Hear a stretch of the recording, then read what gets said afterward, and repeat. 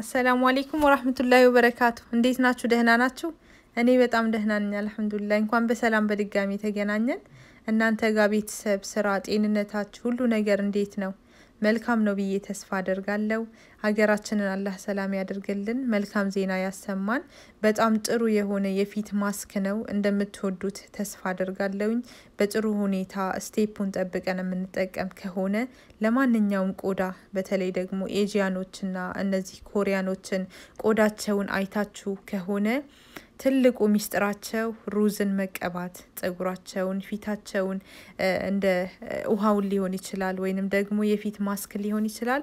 የሩዝ ክሬምን በተለያየ መልኩ ስለሚቀቡት ሞክሬ ወድጀዋለሁና ምናልባት አንድ ነገር ላስቸግራችሁ ተቀብታችሁ የምታውቁ ሰዎች ካላችሁ እንዴት ነው ተስማምቷችኋል ወይንስ ደግሞ ያበላሸ ነገር አለ የሚለውን ነገር ከእናንተ መልስ ፈልጋለሁኝ።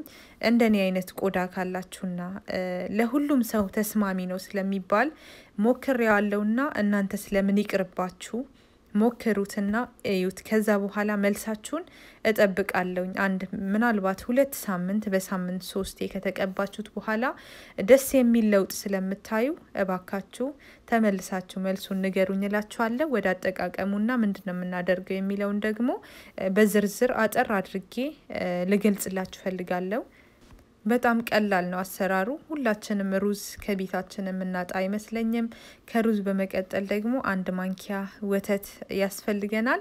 ግማሽ ማንኪያ የምትሆን ማር ያስፈልገናል።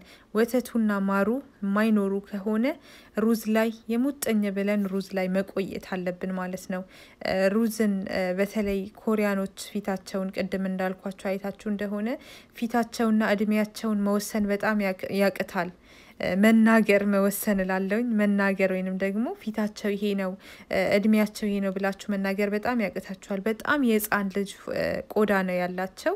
Korean ኦች በዓለም የታወቁ ናቸው። ፊታቸው የመወጠር ፊታቸውና እድሜያቸው match አያደርግም። ስለዚህ ሚስጥሩ ሩዝ ነው ይላሉ። የተለያዩ የሆነ ማስኮችን ይቀባሉ። የሙዝ የድንች ሊስማማችሁ ይችላል።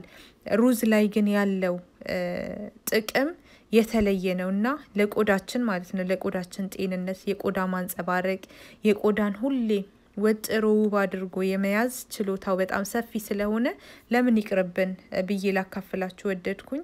ሀሳባችሁን እናንተም ደግሞ ከምታውቁት experience ወይንም ደግሞ የምትጠቀሙበት ዘዴ የሚለይ ከሆነ እኔም ከእናንተ መማር ስለምፈልግ አጠር አድርጋችሁ የምታውቁትን ነገር share ብታደርጉኝ በጣም ደስ ይለኛል። አዘገጃጀቱን ልንገራችሁ። በአንደኛ ምንድን ነው የማደርገው?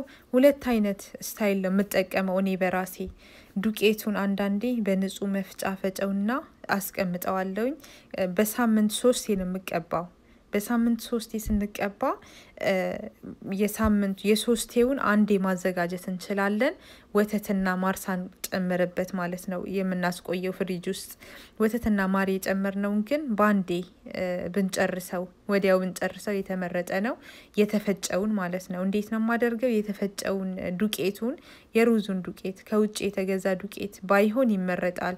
እንዴት እንደፈጩት ምን እንደቀላቀሉበት ስለማናውቅ ቤት ውስጥ የፈጨ ነው የሚሆን ከሆነ የዱቄቱ ሩዝ ላይ የፈላ ውሃ ሁለት ማንኪያ ሩዝ አደርግና የዱቄቱን ሩዝ ማለት ነው ሁለት ማንኪያ የፈላ ውሃ ጨምርበታለሁኝ። ከዛ በኋላ ሁለት ማንኪያ ቀዝቀዝ ያለ ወተት እጨምርበታለሁ። ትንሽዬ ግማሽ ማንኪያ የሚሆን አላበዛም። ማሩን እውነት ለመናገር ማሩን አደርግበትና ሶስቱን ውሃ ሩዙንና ማሩን በደንብ እቀላቀላለሁኝ። ማርና ወተት የማይኖረን ከሆነ ምንም ችግር የለውም፣ አትጨናነቁ። ሩዙ ብቻ በቂ ነው ማለት ነው ካለ ነው ያኛው። ምናልባት እንደው ማርና ወተት የማይስማማችሁ ሰዎች ካላችሁ በንጹህ ውሃ ሩዙን በጥብጦ መቀባት ይቻላል። ሲደርቅ መታጠብ ነው። አንድ ማስታውሳችሁ ነገር ምንድን ነው፣ ፊታችን ምናልባት ሎሽን ነገር፣ ቫዝሊን ነገር በላብ ምናምን ቀዳዳው ተደፍኖ ከሆነ ቀደም ብለን ፊታችንን ብንታጠብ፣ ቀደም ብለን steam ብናደርገው ፊታችንን steam ማለት የፈላ ውሃ ላይ ጎንበስ ብለን ፎጣ ነገር አድርገን ፊታችንን ሲያልበን ቀዳዳዎቹ ሲከፈቱ ከዛ ንጹህ ቆዳ ላይ ይህንን ነገር ብንቀባው የበለጠ የጥቅሙ ተካፋይ እንሆናለን ማለት ነው።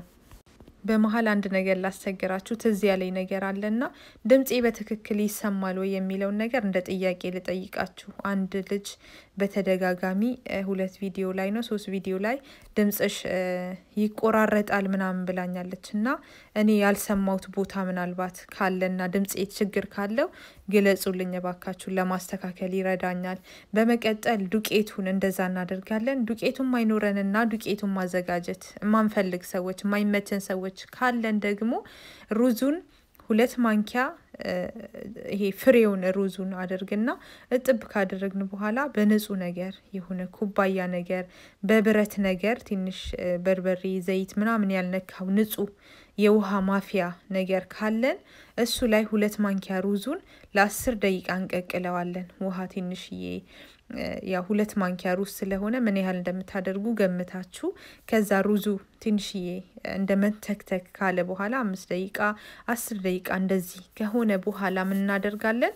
ያንን ሩዝ እሳቱን እናጠፋና እናወርደዋለን። ከዛ ይሄ የቀረው የሩዙ መረቅ አለ አይደለ? ጁሱ የሩዙን ጁስ ሳህን ነገር ላይ ጨምረን አንድ ማንኪያ ወተቱንና ግማሽ ማንኪያ የሚሆን ማሩን አድርጌ ቀላቅዬ እንደዛ ቀባዋለሁ ማለት ነው። አሁንም በድጋሚ የማር አለርጂ ካለባችሁ ወተት የማይስማማችሁ ከሆነ ሩዙን ብቻ መጠቀም እንችላለን። የምነግራችሁ ነገር ተስማማችሁም ካልተስማማችሁ ሁለቴ ሶስቴ ስትደግሙት ድሮ የሌለባችሁ ሽፍታ ሊወጣ ይችላል። የሚያሳክካችሁ ነገር ሊሆን ይችላል። ፊታችሁ በጣም መቆጣት ነገር የሚያሳይ ከሆነ የሆነ ነገር እንዳልተስማማችሁ በዛ ማወቅ ይቻላል። ግን ሶስቴ አራቴ ደጋግመ ነው ለውጥ ይሄ ነው የምትሉት ለውጥ ሳታዩ ግን ምንም አይነት side effect ምንም አይነት የሚያስፈራ ሽፍታ ምናምን ብጉር ምናምን የማይወጣባችሁ ከሆነ እስቲ ደጋግሙትና ሞክሩት። በእኔ ይሁንባችሁ። ምናልባት ለሁለት ሳምንት በሳምንት ሶስቴ እየተቀባ ነው እንሞክረውና የእውነት ደስተኛ ሆናችሁ ተመልሳችሁ እንደምታመሰግኑኝ ተስፋ አድርጋለሁኝ። እንደዛውም ደግሞ ማይሆንና ሽፍታውን የሚያመጣባችሁም ከሆነ እንደዚህ ሆኖብኛል ብላችሁ ከስር ደግማችሁ ብትነግሩኝ ይጠቅመኛል ብዬ ተስፋ አድርጋለሁ። የምትሰሩበት ስታይል ደግሞ ከዚህ በፊት ተጠቅማችሁ ለየት ያለ ዘዴ ቀለል ያለ ማለት ነው። በጣም ከባድ ዘዴዎችን አልወድም እና ቀለል ያለ ሌላ ዘዴ ካላችሁም ንገሩኝ። ቀለል ያለ ነገር ሰዓትንም የሚቆጥብ ለቆዳይም ተስማሚ የሚሆን ከሆነ እሞክረዋለሁ እላችኋለሁኝ። እንደ tip ወይም ደግሞ በተጨማሪ የምነግራችሁ ነገር ከተቀባም በኋላ ማንኛውንም ማስክ የሙዝ ማስክ በጣም ጥሩ ነው። ድንች፣ እነዚህ ነገሮች ስንቀባ ከተቀባም በኋላ በሳሙና ባንታጠብ በጣም የተመረጠ ነው። ይህንንም የቆዳ ጥናቶች ናቸው የሚያመላክቱትና የተቀባነውን ንጥረ ነገር ወይም ሚኔራሉን ቫይታሚንስ ሊሆን ይችላል ያለውን ነገር በቀዝቃዛ ውሃ የምንታጠበው ከሆነ የቀረው ቆዳችን ቀዳዳ ውስጥ ቀስ ብሎ በ process በሂደት ስራውን ይሰራል ማለት ነው። በሳሙና የምናደርገው ከሆነ ሙልጭ አድርጎ ይወስደዋል። ስለዚህ ቀድመን በሳሙና ታጠብን ስንጨርስ ማንኛውንም ማስክ በሳሙና መታጠብ የለብንም። ቀዝቀዝ ባለ ውሃ በጣም በማይሞቅ ለብ ባይልም normal ቀዝቃዛ ውሃ ታጥበን ከዛ በኋላ ደግሞ በፎጣ ከምናደርቅ ፊታችንን አሁንም ይሄም የቆዳ ጥናቶች ናቸው የሚመሰክሩለት። ይሄ paper towel እንትኑ አለ አይደል ሶፍት ሳህን መጥረጊያ ምናምን ሊሆን ይችላል። kitchen ውስጥ ያለ ሶፍቶችን በሱ ብንጠቀም ፊታችንን አንዴ ቆረጥ አድርገን በሱ ብናደርቀው ከፎጣው ይልቅ ይሄ ይሻላል ይላልና ጥናቱ። ይሄም እንደ ተጨማሪ መረጃ ይጠቅማችኋል ብዬ ተስፋ አደርጋለሁኝ። ሶስተኛው መረጃ ምንድን ነው? ከታጠብን በኋላ ይህንን ሩዝ ማስኩን ማንኛውንም ማስክ የሆነ የ almond oil ሊሆን ይችላል፣ ሎሽን ሊሆን ይችላል። ፊታችሁን የሆነ ነገር ደግማችሁ ተቀቡት። የሆነ የምትቀቡት ነገር ማለት ነው። እንደዛው ከታጠብን በኋላ እንደዛው ከመተው ይልቅ የሚስማማችሁን ነገር ለይታችሁ አውቃችሁ በተደጋጋሚ መጠቀም። ሩዝን ዓለም የመሰከረለት ስለሆነ ካልሞከራችሁ እባካችሁ በተደጋጋሚ ሞክሩት።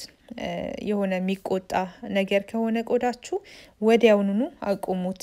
ያው እየገለጸ እየነገረን ነው ማለት ነው። ይሄ ነገር አልተስማማኝም የሚለውን ነገር ምናልባት ማሩ ሊሆን ይችላል። ማሩን አቁማችሁ ማየት የከፋ አደጋ ምንም ስለማያጋልጥብን እኔ የምፈራው እኒህ ኬሚካሎች የጥርስ መፋቂያ ሎሚ ሲበዛበት፣ apple cider vinegar አሁን ለፊት በጣም ጥሩ ነው ይላሉ። ትንሽ acidity ስላለው እነሱ እነሱን ነገር ፈራለው። ሩዝ ግን በጣም ጥሩ ነው በጣም ነው ከምላችሁ በላይ በተለይ ደግሞ ትንሽዬ ደረቅ ያለ ቆዳ የሚኖረን ከሆነ ቶሎ የመሸብሸብ ያለው ባህሪ ከሆነ ፊታችን በጣም አንቲ ኤጅ ነው። ይሄ የተመሰከረለት ነገር ስለሆነ ስለማላፍርበት በጣም ይቅርታ ካረዘምኩባችሁ በጣም ይቅርታ ትናለኝና የሆነ ጥሩ መረጃ ይሆናችኋል ብዬ ተስፋ አደርጋለሁኝ። የወደድኩትን ነገር ላካፍላችሁ ሁሌ ዝግጁ ነኝ ማለት ነው።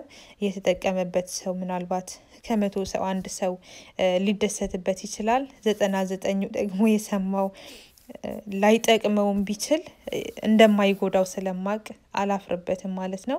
አንድ ነገር አንድን ሰው ይጠቅማል ብዬ ከተናገርኩኝ ሁሉንም ሰው በአንዴ ይጠቅምልኛል ብዬ አላምንም።